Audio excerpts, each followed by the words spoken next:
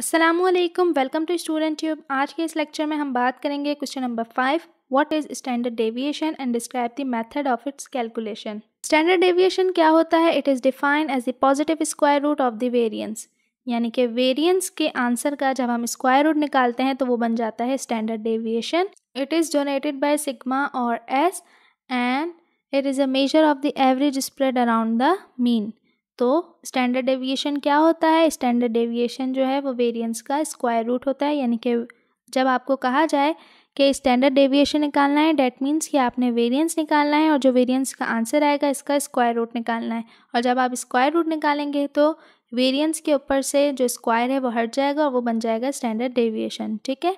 अब calculation of S यानी कि स्टैंडर्ड डेविएशन कैसी होती है?